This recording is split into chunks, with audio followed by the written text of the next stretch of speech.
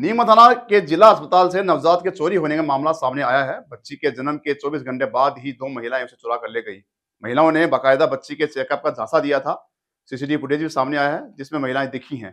परिवार ने बच्ची के नहीं मिलने पर प्रदर्शन की चेतावनी भी दी है। घटना सीकर के निगम थाना जिला अस्पताल की है। सोमवार सुबह करीब सात बजे की है। नवजात के पिता हनुमान ने बताया कि वह हरजनपुरा बाठड़ी गाँव का रहने वाला है। उसकी पत्नी ममता देवी को रविवार को जिला अस्पताल में भर्ती करवाया गया था। पत्नी ने रविवार को ही बच्ची को जन्म दिया। सोमवार सुबह नवजात की बड़ी दादी मिश्री देवी जच्चा बच्चा के पास बैठी थी। इस दौरान दो महिलाएँ आई और चेकअप का बहाना कर बच्ची को अपने साथ लेकर चली गई। नवजात के पिता ने बताया कि सुबह साढ़े छह से सात बजे के बीच वह चाय पीने के लिए अस्पताल से बाहर गया था। पत्नी टॉयलेट करने गई थी। पीछे से दो महिलाएँ चेकअप का दासा देकर नवजात को चोरी करके ले गई। नवजात की मेडिकल रिपोर्ट भी अपने साथ लेकर चली गई। काफ़ी देर तक दोनों महिलाओं के नहीं आने पर डॉक्टर से जाकर पूछा। तब पता चला कि स्टाफ की तरफ़ से किसी को नहीं भेजा गया था। मामले की जानकारी पुलिस अस्पताल पहुँची।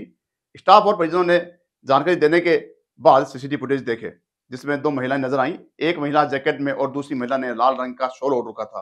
फुटेज में दोनों महिलाएँ की पीठ दिख रही है। महिला शॉल के अंदर नवजात को छुपाकर ले, ले, ले जाते हुए नज़र आ रही है। एएसपी सालिनी और एसपी बेनीवाल नीमच थाना जिला अस्पताल पहुँचे। एएसपी ने बताया कि मामले को लेकर टीमों का गठन किया गया है। अस्पताल समेत मुख्य मार्गों के सीसीटीवी फुटेज का मंगाले जा रहे हैं। हॉस्पिटल गार्ड और कर्मचारी से पूछताछ कर जानकारी जुटाई जा रही है। इधर परिजनों ने पुलिस को अल्टीमेटम भी दे दिया है कि अगर नवजात नहीं मिली तो प्रदर्शन किया जाएगा। ममता का पीहर नीमत थाना के बगेगा गाँव में है।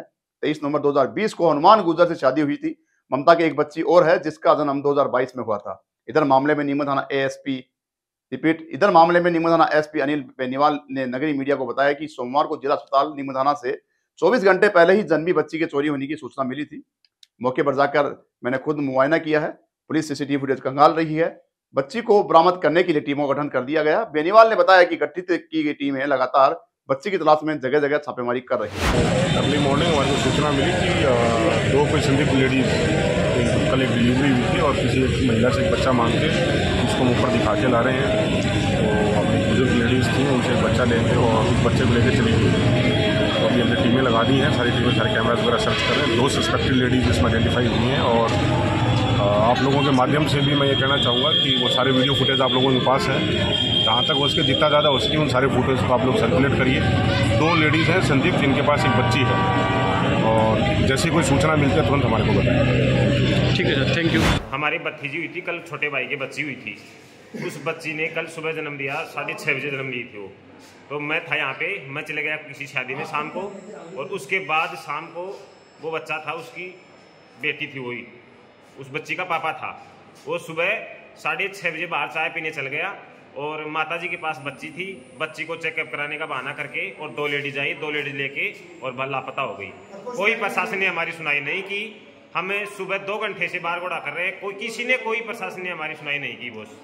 ये बात है, हम हाथ जोड़ के यही विनती करते हैं कि हमारी रिक्वेस्ट करें प्लीज़ मेरी बच्ची ने मेरा नशो बोल मैं लेर गई। चाँद पेशाब करावा गई दूसरी बोड़ी आ मैं अकेली बैठी जना यहाँ फिर दादी का चेकन कराऊँगी तेरा कागज़ दिखा को भाई एरिया कागज़ मैं अनपढ़ छी मन के पतो जना फिर बाबा, रे. दादी, ममता काट दे, ममता काट दे, दी. और फिर मन जो बच्ची को चेक करा लिया मैं दे दी.